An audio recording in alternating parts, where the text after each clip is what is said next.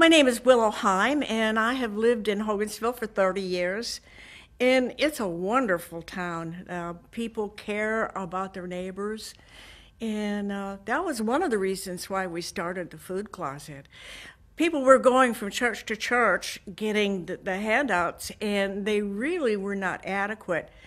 So, as a member of the Ministerial Association, because I was pastor at St. James at the time, we decided to unite the churches and have a, a cooperative uh, food closet where we could give a better box of food for the people. And we started in 2009.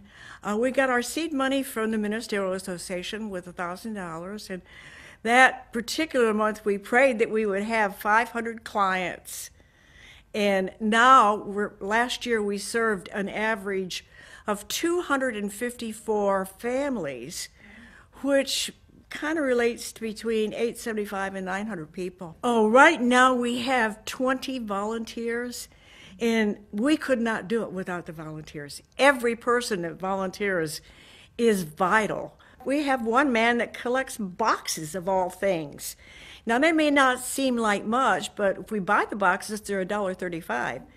And I am so thrifty actually they call me cheap, that I would not want to spend $1.35 on a box if you couldn't eat it. We purchase our food from Feeding the Valley and we pay 19 cents a pound, which is really a handling charge. It's not really a fee for food.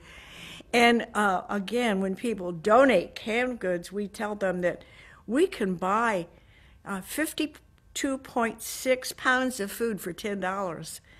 And that will feed a family of four well, now I try to make sure that there is starch and vegetables, uh, fruits, and some protein in, in the box.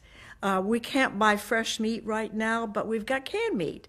And we've got canned chicken, canned pork, and canned salmon.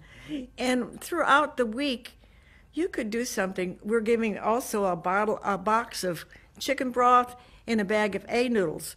And if you dump the kit, chicken in the chicken broth and cook the noodles, you got chicken noodle soup. And one of the ministries that I really feel is necessary is the weekend food bags.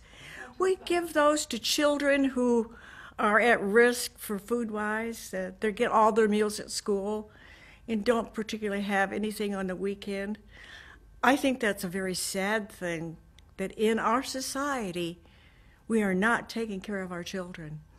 And again, uh, we do, uh, right now we're currently do uh, 70 school bags a week. Oh, I really think that you should pick somebody else because, you know, there's just a lot of people that do more than I do.